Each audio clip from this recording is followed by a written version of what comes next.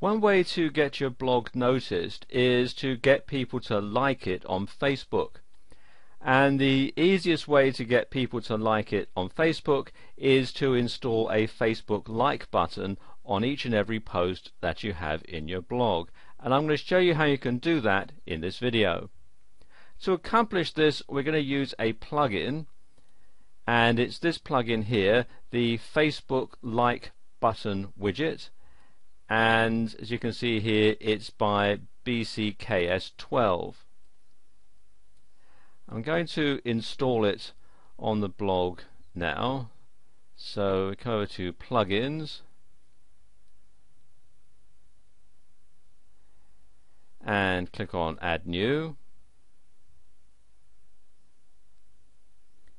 And what I'm going to do I'm going to copy and paste it from this page so that I know I've got the right one. Because there are several different ones on there but some require you to tinker with the code and so on which is a bit of a hassle.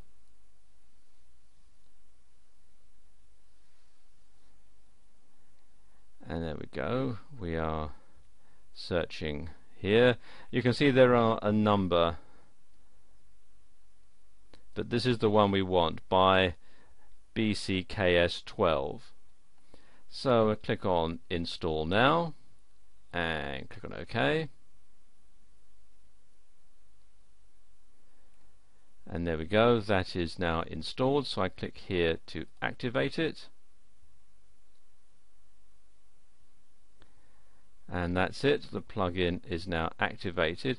Now if I go to the blog page you can see we now have the Facebook like button automatically installed on every single post. So there we go. That's a quick way of installing a Facebook like button onto your blog.